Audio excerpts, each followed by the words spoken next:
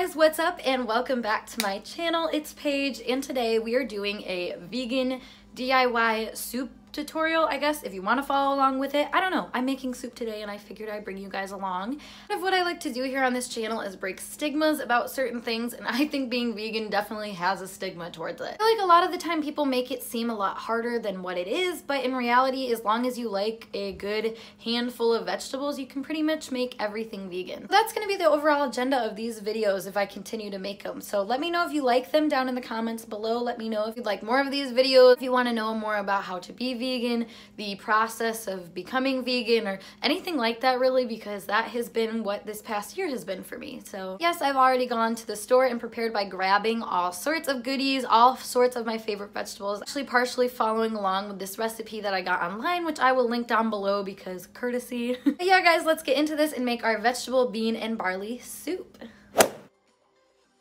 So as you see, I grabbed a ton of stuff from the grocery store, a lot of fresh vegetables, and then I also have taken out a few of my favorite herbs and spices that have a lot of medicinal benefits that I really like. So next it's time to dice all of the vegetables into little bite-sized pieces, but the onions kind of got to me, so enjoy this still of me crying because of the onions.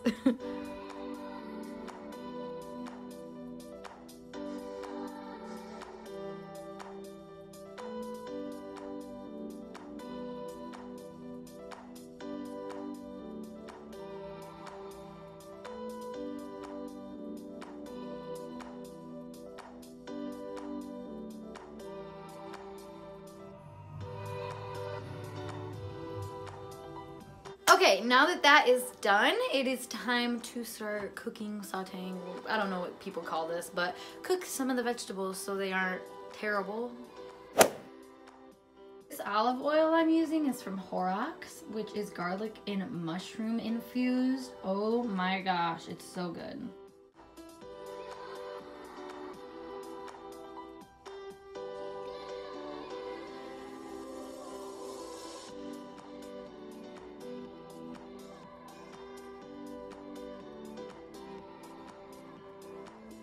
All right, now that that is done, it is time to make the soup base. So we're going to be using four cups of vegetable broth and then four cups of water.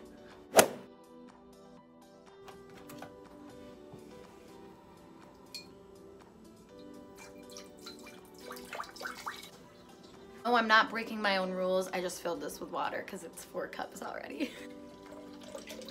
So now we're going to add in the rest except for the barley because I accidentally bought quick barley and this is gonna be sitting all day so I can't do that. But yeah, everything else will be going in this slow cooker and we will try it later.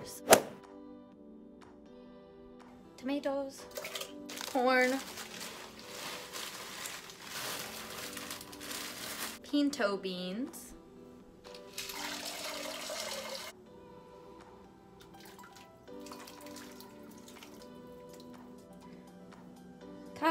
and now we wait.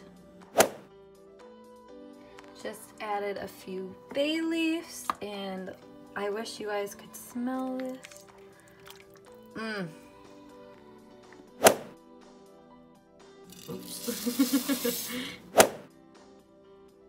Guys, so it is later. I have tried my soup and let me tell you, it was really, really good actually. I'm really proud of myself because I am no chef by any means. Probably might have seen in my cutting and preparing earlier. So in other words, if I can do it, you can do it. I definitely would recommend adding a little bit more of the actual vegetable stock. I ended up adding a little bit of bouillon or bouillon, bouillon. I don't know. I'll show you what it is. This stuff, better than bouillon. And other than that, I didn't really add anything special other than like the vegetables I wanted and the spices and herbs that I liked. So it was really easy to make. And like I said, if I can do it, you can do it. Yeah, that was it for this video. Let me know if you guys liked it. Give it a thumbs up or down, depending on obviously if you liked it or not. I need to figure out a better way to say that in these videos. But anyways, guys, it was pleasure having you around. I am gonna go eat this fantastic soup that I made not to brag. Remember to check out my blog, my Patreon, because that pre-sale is going on until the 19th of January, so get in on it. But thank you guys so much. I'm so grateful for the community that we have here. So in other videos, bye for now.